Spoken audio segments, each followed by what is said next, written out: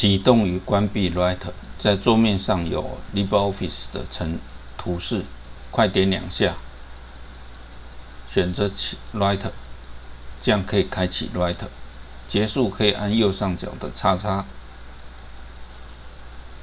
你也可以在应用程式里面，所有程式里面找到 LibreOffice，然后点选 Writer。